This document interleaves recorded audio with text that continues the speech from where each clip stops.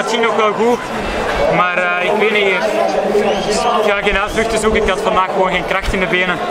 En uh, ja, ik had misschien wel iets beter verwacht. Want uh, zo moe ben ik niet, maar ik kon gewoon niet, niet het extra wat ik normaal wel kan. En, het is wel een heel mooie ervaring, mooie leerschool.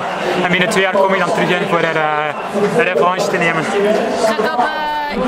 gevallen in de, wedstrijd, heb je dat gezien? Ja, ik, ik was ook net bezig aan het versnellen. En op dat moment voel ik me nog redelijk goed.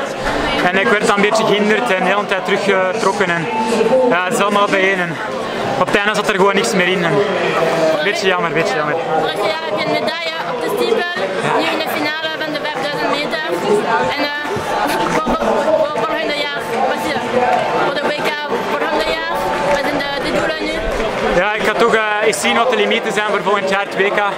En uh, proberen dan daarvoor te plaatsen of zo, als die limieten in de mogelijkheden liggen. In de mogelijkheden liggen. En ja, het is, vandaag was het gewoon een flop bij mij. Er zat geen kracht op. Je bent toch ook sterk op de cross, dat zijn de EK van crossen in uh, december. Ja, dat is uh, ook wel een van mijn doelen, om daar al naartoe te gaan. Uh, dus ja, we zullen zien. Hè. Ook Dries kan ook nog volgend jaar meedoen.